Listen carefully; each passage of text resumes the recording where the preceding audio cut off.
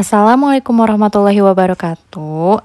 Perkenalkan, kami dari mata kuliah Sosiologi dan Antropologi kelas D ingin mempresentasikan mengenai topik kota dan masyarakat industri.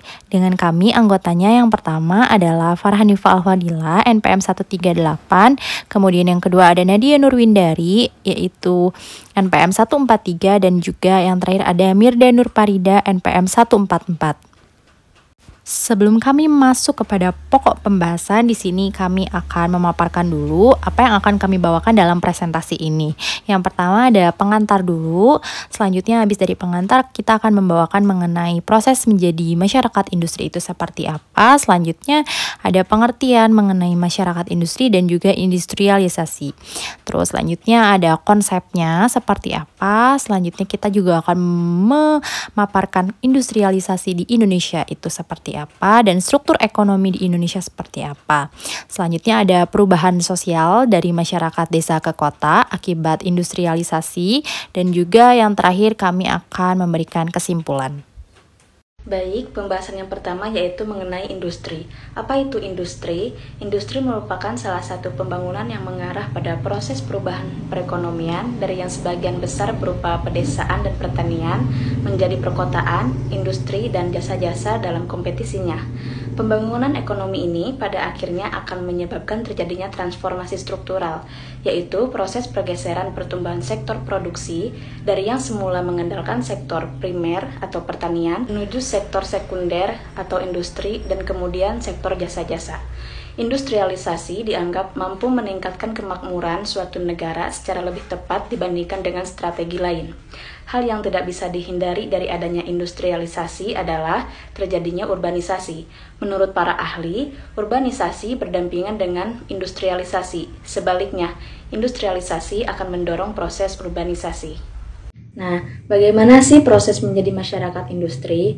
Proses industrialisasi yang sebagian besar berlangsung di perkotaan mengakibatkan kota kebanjiran imigran dari desa-desa dengan segala aspeknya. Perbedaan budaya antara desa dan kota dan proses adaptasi mengakibatkan terjadinya akulturasi dan asimilasi budaya masyarakat urban perkotaan. Dalam konteks industrialisasi, hubungan desa kota bukan lagi hubungan administratif and siege, melainkan sebagai transformasi budaya dan sosial. Pada umumnya, kota-kota di negara berkembang cenderung dikotonomikan menjadi dua kawasan yang berbeda, yaitu yang pertama kawasan tipe barat, dan yang kedua, kawasan tipe pribumi yang terdiri atas pengelompokan desa-desa.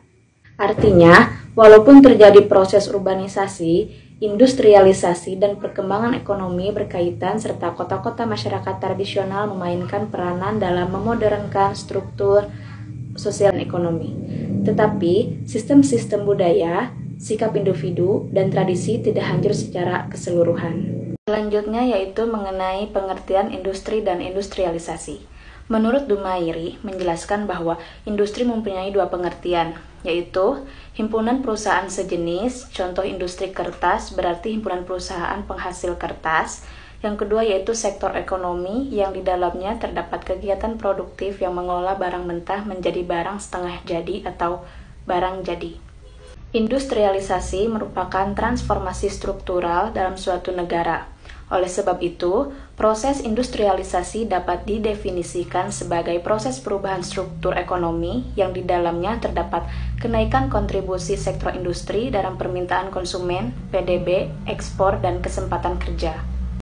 Industrialisasi dalam pengertian lain yaitu Proses modernisasi ekonomi yang mencakup seluruh sektor ekonomi yang mempunyai kaitan satu sama lain dengan industri pengolahan. Artinya, industrialisasi bertujuan meningkatkan nilai tambah seluruh sektor ekonomi dengan sektor industri pengolahan sebagai leading sektor.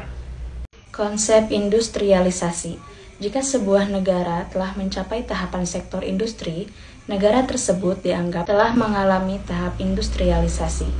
Dalam hal ini, Transformasi struktural diharuskan karena sektor primer dipandang tidak memiliki nilai tambah atau value added yang tinggi serta nilai tukar atau term of trade yang rendah. Dalam menjelaskan proses industrialisasi, model neoklasik berpendapat lain.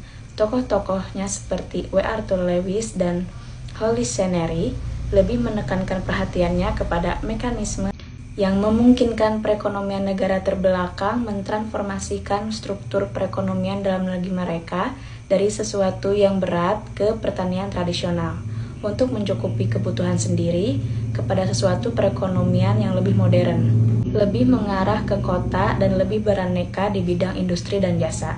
Jadi, model neoklasik lebih memusatkan terjadinya mekanisme perubahan struktural tersebut.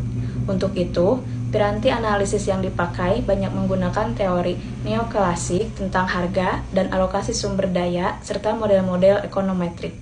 Dalam model konvensional, karakteristik industrialisasi biasanya diukur dengan lima indikator. Yang pertama yaitu pertumbuhan ekonomi meningkat melebihi pertumbuhan penduduk. Yang kedua, share sektor primer menurun. Yang ketiga, share sektor sekunder meningkat. Yang keempat, share sektor jasa lebih kurang konstan sehingga sebuah negara menjadi negara industri baru. Yang kelima yaitu konsumsi pangan menurun, implikasinya pada sisi produksi peran sektor primer berkurang dan di sudut permintaan peran faktor konsumsi berkurang. Selanjutnya yaitu industrialisasi di Indonesia. Pembangunan industri merupakan bagian dari pelaksanaan garis-garis besar haluan negara atau GBHN dalam mencapai sasaran pembangunan jangka panjang yang bertujuan membangun industri. Sehingga bangsa Indonesia mampu tumbuh dan berkembang atas kekuatan sendiri berdasarkan Pancasila dan Undang-Undang tahun 1945. Menurut Departemen Perindustrian, industri nasional Indonesia dikelompokkan menjadi tiga kelompok besar, yaitu yang pertama yaitu industri dasar yang meliputi kelompok industri mesin dan logam dasar dan kelompok kimia dasar. IMLD antara lain industri mesin pertanian, elektronika kereta api, pesawat terbang, kendaraan bermotor, besi baja, aluminium, dan lain sebagainya.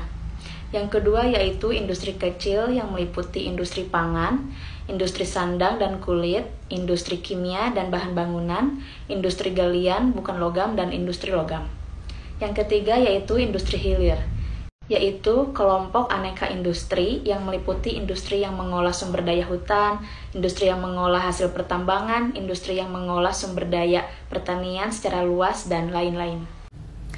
Selanjutnya masih dalam pembahasan yang sama yaitu mengenai industrialisasi yang ada di Indonesia. Dalam sistem operasionalnya terdapat tiga pemikiran strategi industrialisasi yang kini berkembang dan sangat tampak di Indonesia. Ketiganya pernah diaplikasikan secara tersendiri maupun bersamaan. Strategi tersebut di antaranya yakni yang pertama, strategi industrialisasi yang mengembangkan industri yang berspektrum luas. Pada kenyataannya, strategi ini lebih menekankan pengembangan pada sektor industri yang berbasis impor atau milik negara lain. Contoh industrinya yaitu tekstil, otomotif, teknik, dan lain-lain. Yang kedua, ada strategi industrialisasi yang mengutamakan industri ber berteknologi canggih dan berbasis impor seperti industri pesawat terbang, industri peralatan dan senjata militer, industri kapal, dan lain-lain. Yang ketiga yaitu industri hasil pertanian yang berbasis dalam negeri dan merupakan kelanjutan dari pengembangan pertanian. Selanjutnya terdapat pembahasan mengenai struktur ekonomi yang ada di Indonesia. Struktur ekonomi pada umumnya dipergunakan untuk menunjukkan komposisi dan juga susunan sektor-sektor dalam suatu perekonomian. Sektor ekonomi yang dominan atau yang dapat diandalkan adalah sektor ekonomi yang telah menjadi sumber mata pencaharian bagi sebagian besar penduduknya dan juga dapat menyerap tenaga kerja secara besar-besaran. Struktur ekonomi yang dominan juga dapat berarti sektor yang dapat memberikan sumbangan terbesar terhadap produk nasional dengan laju pertumbuhan yang tinggi yang juga menjadi ciri khas dari suatu perekonomian. Terdapat dua macam struktur ekonomi, yaitu di antaranya yang pertama, struktur agraris, yaitu struktur ekonomi yang didominasi oleh sektor pertanian. Yang kedua, yaitu industri, yaitu struktur ekonomi yang, didom yang didominasi oleh sektor industri. Selanjutnya pembahasan yang terakhir yaitu mengenai perubahan sosial masyarakat agraris ke industri atau dari masyarakat desa ke kota. Menurut Munandar Sulaiman, Perubahan masyarakat tradisional agraris ke masyarakat industri atau modern merupakan akibat dari derasnya proses modernisasi dengan berbagai nilai dan teknologi yang telah ditawarkan. Hal ini karena modernisasi melibatkan perubahan pada hampir segala aspek tingkah laku sosial, termasuk di dalamnya industrialisasi, urbanisasi, diferensiasi, sekulerasi, sentralisasi, dan sebagainya. Dampak perubahan dari daerah agraris menjadi industri yang signifikan meliputi perubahan pada mata pencaharian, yaitu terjadinya pergeseran orientasi dari sektor pertanian menjadi sektor industri dan juga jasa dan perdagangan. Proses industrialisasi diyakini mampu mengubah pola hubungan kerja dari tradisional menjadi modern rasional seperti buruh pabrik dan juga karyawan. Nilai Gemeinschaft antar tenaga kerja dalam kehidupan pertanian tradisional berubah menjadi Gesellschaft.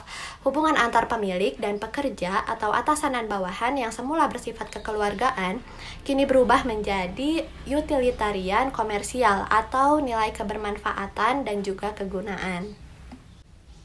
Masih dalam pembahasan yang sama, yaitu mengenai perubahan sosial masyarakat agraris ke industri, memiliki dampak positif dan juga dampak negatif. Dampak positifnya yaitu terdapatnya perkembangan tingkat pertumbuhan pendapatan masyarakat pedesaan yang terkait dengan adanya perubahan pola mata pencaharian mereka.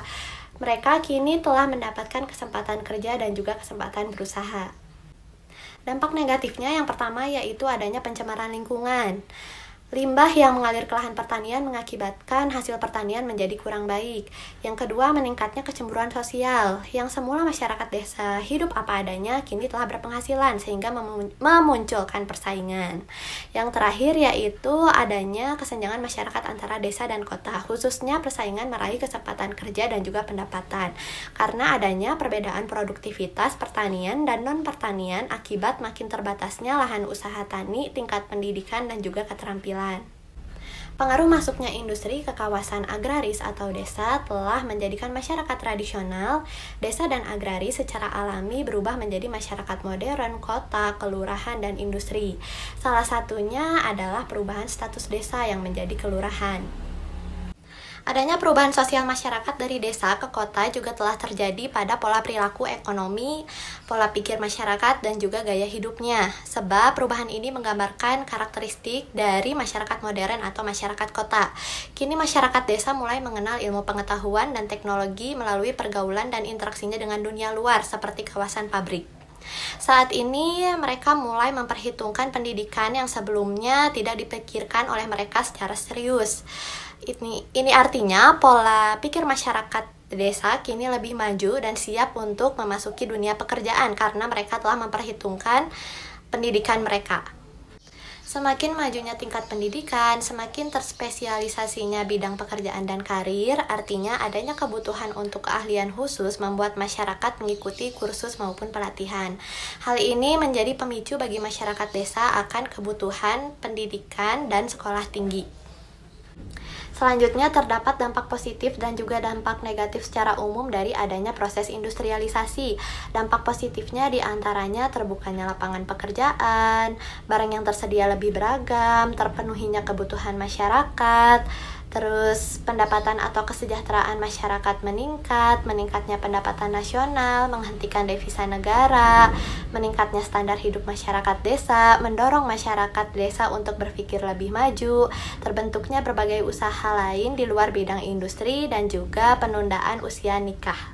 Sedangkan dampak negatif dari adanya proses industrialisasi di antaranya yakni terjadinya tingkat urbanisasi yang tinggi dari desa ke kota, sebab kota dijadikan tujuan bagi kaum urban untuk mencari kehidupan yang lebih layak atau lebih baik. Yang kedua, terjadinya pencemaran udara, air, dan tanah sebagai efek negatif dari adanya proses produksi industri yang semakin banyak. Yang ketiga, yaitu memicu konsumerisme di masyarakat. Yang keempat, menurunnya budaya gotong royong antar warga. Yang kelima, Paham materialisme semakin berkembang. Yang keenam, berkembangnya paham individualis. Yang ketujuh, semakin lebarnya jurang kesenjangan sosial. Yang kedelapan, Banyaknya pemukiman kumuh di kota-kota. Yang kesembilan, hilangnya kepribadian masyarakat desa. Yang kesepuluh, berkurangnya lahan pertanian. Yang kesebelas, meningkatnya pemukiman slum area di kota-kota besar. Yang kedua belas, naiknya suhu bumi yang juga mengakibatkan penduduk desa yang tinggal di dekat pabrik terserang penyakit pernapasan. Oke, okay, selanjutnya adalah perkembangan revolusi industri ya dimulai dari 1.0 hingga 4.0. Nah, kita akan jabarkan satu-satu mulai dari 1.0 dulu ya. Jadi 1.0 itu adalah konsep revolusi industri paling dasar atau paling pertama ya, bisa dibilang dan terjadi pada era abad ke-18 atau tahun sekitar tahun 1800 sampai dengan 1900 Masehi.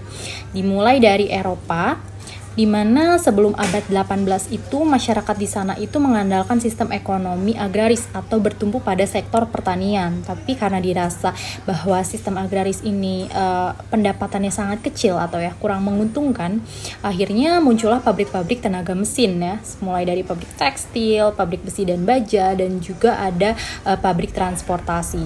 Selanjutnya beralih ke sektor uh, industri 2.0 di mana pada era ini tuh dikenal dengan mulai adanya produksi massal. Jadi produksinya mulai secara besar-besaran atau uh, mulai banyak lah ya. Jadi uh, dihasilkan suatu barangnya itu uh, dalam jumlah yang besar dan sudah mengandalkan tenaga listrik pada saat itu. Jadi era ini tuh berlangsung sekitar tahun 1900 hingga 1960. Masehi dan era ini itu berbasis pada ilmu pengetahuan dan juga teknologi.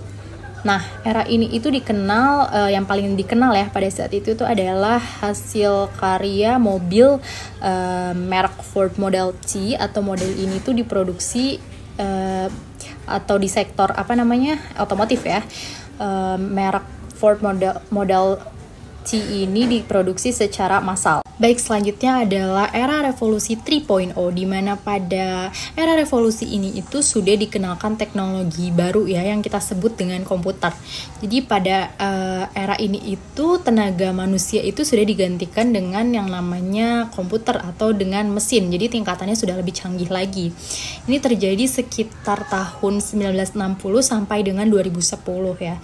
Penemuan lainnya pada sektor eh, pada sektor sorry pada era uh, revolusi ini tuh ada uh, eh, CD dan juga DVD player. Nah selanjutnya ada uh, kita beralih ke sektor uh, industri pada 4.0 ya.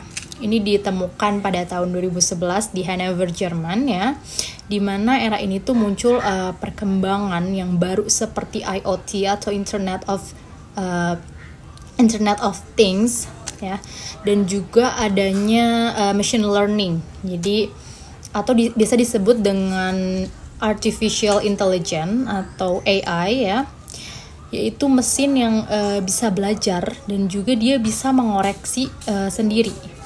Nah, itu adalah contoh industrialisasi di Indonesia ya kita akan membahas yang pertama adalah sektor otomotif dulu. Jadi uh, konsep pemerintah di bidang industri kan seperti yang kita tahu bahwa Indonesia itu adalah uh, negara yang kaya akan sumber alamnya gitu ya. Jadi nggak mungkin kalau kita itu tidak membangun yang namanya industri ya. Hal itu juga disampaikan oleh Wapres Budiono ya ketika membuka Indonesia International Motor Show atau IIMS ya di tahun 2013 uh, di Jakarta International Expo beliau itu menuturkan bahwa industrialisasi harus berjalan. Jadi sumber daya manusia yang besar tidak bisa hanya bekerja di sektor alam saja gitu, tapi harus terjun juga ke yang namanya sektor industrialisasi. Nah, di dalam konsep industrialisasi di Indonesia, menurut Budiono ini ada tiga pilar strategi. Nah, yang pertama adalah proses uh, meningkatkan nilai tambah atau value added ya. Jadi pemerintah tidak hanya menjual yang namanya sumber mentah, dalam prosesnya itu itu yang menjadi kuncinya justru di dalam industri ya. Jadi uh, tidak hanya bergerak dari hilir tapi eh, tidak hanya bergerak uh, hilir saja tapi juga bergerak uh, secara hulu. Jadi hilir ke hulu gitu ya. Jadi uh, salah satu contohnya adalah industri otomotif tadi. Nah yang kedua adalah pilar yang diarahkan itu memaksimumkan dampak uh, kepada dalam negeri atau kepada negara Indonesia tersendiri ya. Efek kedua ini dalam hal melipat gandakan tenaga kerja gitu ya. Jadi bisa membuka lapangan pekerjaan baru gitu.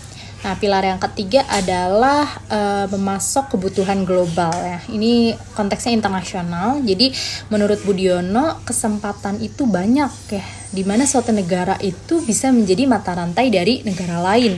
Artinya adalah saling membutuhkan, ada kerjasama internasional antar negara seperti itu. Itu akan menguntungkan jika kita mengandalkan sektor industrialisasi. Baik, selanjutnya adalah contoh industrialisasi pada sektor pangan ya. Jadi sektor pangan ini dikatakan adalah sektor andalan karena dia itu adalah sektor yang menopang pertumbuhan manufaktur ya pada ekonomi nasional pada tahun depan. Jadi uh, sektor ini bisa dikatakan sektor yang uh, penting ya kontribusinya karena dia itu signifikan dan konsisten ya men menopang pertumbuhan PDB non migas atau produk domestik brutonya Indonesia ya uh, serta meningkatkan realisasi investasi.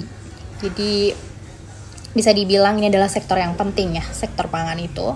Terus juga berdasarkan jenis bahan dasarnya, ada bahan mentah yang digunakan. Nah, industri pangan ini dapat dikelompokkan sebagai industri pangan nabati, ada juga yang hewani, ada juga yang campuran nabati dan hewani. Dan mungkin sekarang itu karena udah uh, modern ya, sudah lebih canggih lagi sektor industri itu ada yang namanya uh, industri pangan kimiawi. Jadi diciptakan oleh uh, teknologi ya bantuan kimia dan juga produksi pangan mendominasi sektor pertanian. Jadi sumbangan sektor pertanian ini uh, terhadap pembangunan ekonomi dan juga kepada industri itu justru penting gitu. Jadi bisa dikatakan bahwa sektor agraris ya atau sektor pertanian ini uh, berhubungan positif dengan industrialisasi pada sektor pangan gitu. Nah, industri makanan dan minuman uh, nasional saat ini tuh perlu dilakukan upaya strategis untuk semakin memacu uh, daya saingnya ya supaya mampu berkontribusi di tingkatan global atau tingkat internasional.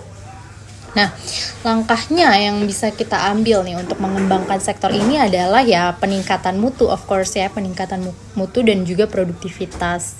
Seperti itu, efisiensi juga di seluruh rantai nilai produksi dan juga mungkin peningkatan SDM-nya ya atau sumber daya manusianya, yaitu buruh-buruh atau tenaga kerja di industrialisasi tersebut dan juga kegiatan penelitian dan pengembangan di sektor tersebut. Oke, baik. Selanjutnya adalah contoh industrialisasi di Indonesia pada sektor tekstil ya.